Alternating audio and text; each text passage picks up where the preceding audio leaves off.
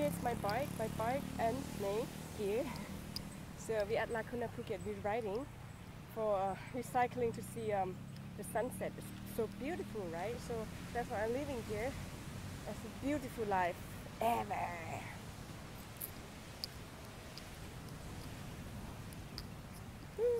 Alright, let's go. Let's go back to the gym.